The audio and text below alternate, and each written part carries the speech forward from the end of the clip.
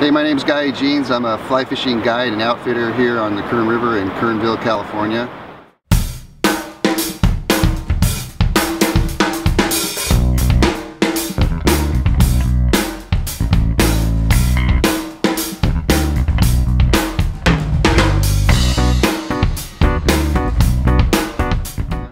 I want to tell you guys about a couple stories. One, a positive story, and one kind of a negative story. Um, the first story I'd like to tell you guys is a story about uh, me guiding the river.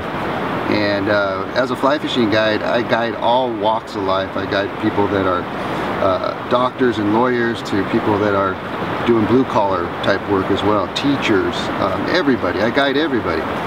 And this particular day I'm going to tell you guys about, I was guiding two preachers, two, uh, two ministers, and um, we got out on the river, beautiful day just like today, and um, we got to fishing, which was really fun, and we were catching some fish and stuff, and being ministers, they started talking to me about uh, their religion and God and, and this and that, which was awesome, and I agreed with them, and and uh, they said to me, well, Guy, do you, do you ever go to church? And I'm all, every day.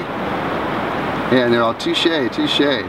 And I do, I, I, I love coming to the river. It's kind of one of those things that releases all the negative energies for me. It, it replenishes my soul.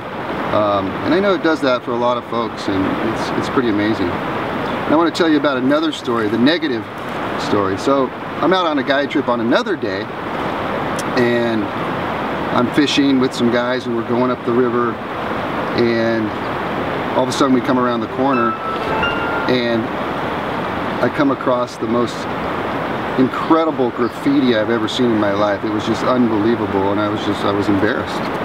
And I told my clients, oh, I'm so sorry because I hadn't seen it a couple days before. But all the rocks across the whole entire river had graffiti of uh, gang insignias or whatever it was. And it just was totally, completely depressing to me and, and, uh, and hurtful. And uh, so I guess the message I'd like to portray to you guys is that we've got to protect all the rivers across the U.S. and, and the world basically. But my river, the Kern River, is a very special place. We have uh, native species here. And uh, we have a species called the Kern River Rainbow, which is a native species that uh, is from this area. And we also have two more native trout species. We have the golden trout, which a lot of people consider the most beautiful trout in the world. But we also have the little kern golden trout, which is up on the little kern river. And uh, they're very special and they're kind of a species of special concern, but we've got to protect them.